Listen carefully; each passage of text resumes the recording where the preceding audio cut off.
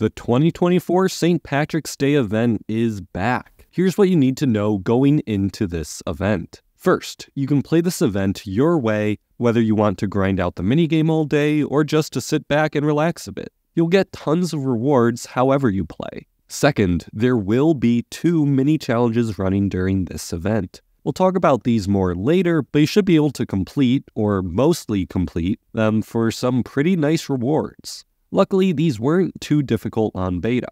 And third, if you place in at least the Bronze League, you get a building that gives fragments of the main building. However, this building does get better as you place in higher leagues. There are several new buildings you can win, and the best part is that they're all green. The main building is the Celtic Tavern, and this guy is big.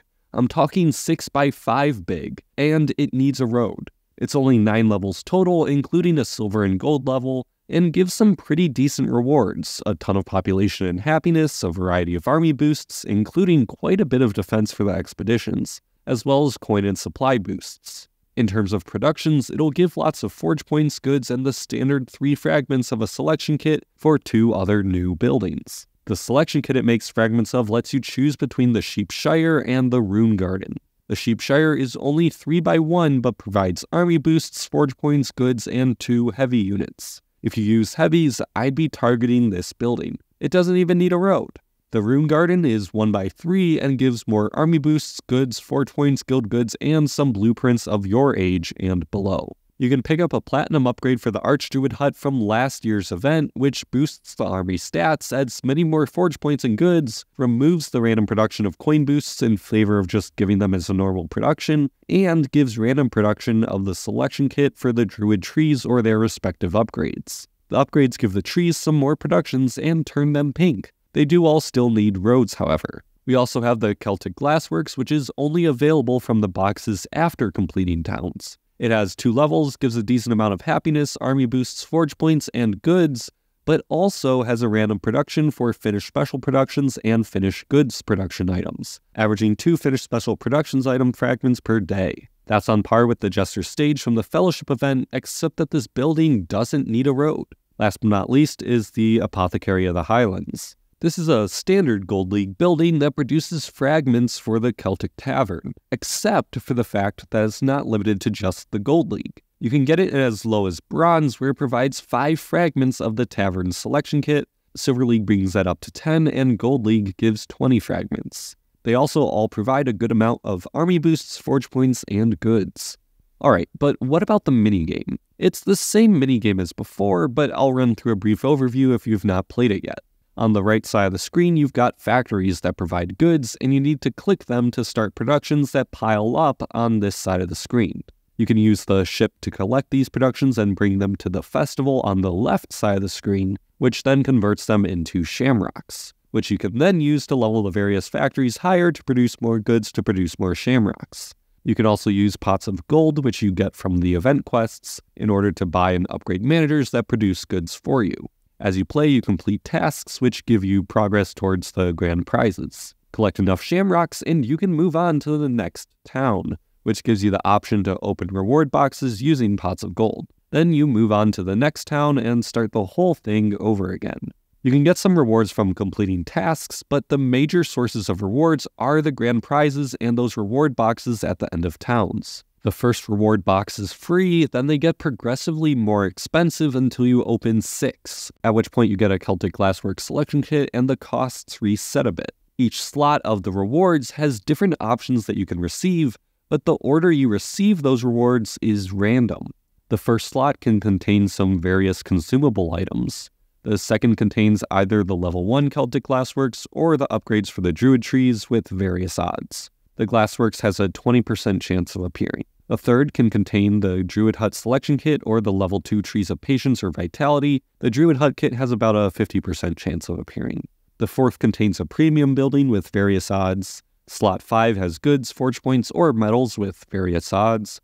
And slot 6 can contain either the Privateer's Boathouse, Animal Crossing, or Chocolate Tree selection kit. If you want one of the specific rewards and don't care about the Glasswork selection kit for opening all boxes, open the boxes individually.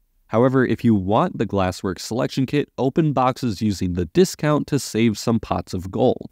The last new thing with this event are the boosters. You start with one of each. The Swift Sham savings can reduce the cost of moving to the next town from 8.4 quadrillion to only 6.3 quadrillion shamrocks. Use this one whenever you wish, as there's no real benefit to waiting to use it. The quick promotion booster allows you to upgrade your managers one level for free. Be careful when leveling managers, as after level 1, the button splits and it is easy to accidentally use the quick promo.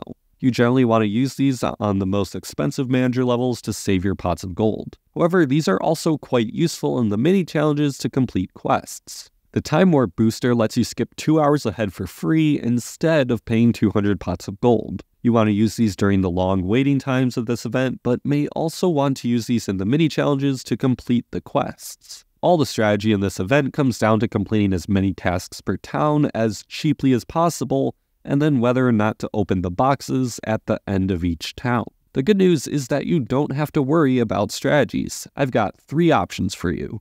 The first is the simplest and is what I recommend if you either want to keep your time spent on the minigame to a minimum or want the most free glassworks possible.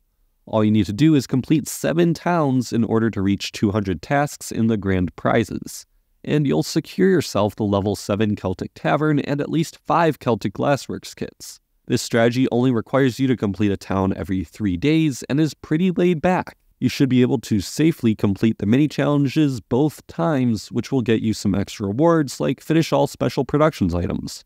The second strategy is a little bit more work, as you'll need to complete 10 towns, but here you'll reach 300 tasks. Doing so gives you the Platinum upgrade for the Druid Hut for free, and you'll still be able to secure at least 3 Celtic Glassworks kits, probably four thanks to the pots of gold you can get from incidents. Here you have about two days to complete each town and also should be able to complete the mini challenges fully. The third is the most work and will have you completing towns as quickly as possible to try and get the most tasks for both far progress in the grand prizes and securing your position in a higher league. You'll be opening no end of town boxes other than the free ones, so don't expect too many Celtic Glassworks. If you're fast enough, you should be able to get through 19 or more towns for free and secure close to 600 tasks, which should get you close to two Celtic taverns. Any kits you don't get will be finished by the Silver or Gold League buildings depending on where you place. You'll only want to complete most of the mini challenges with this strategy, but we'll talk about those later.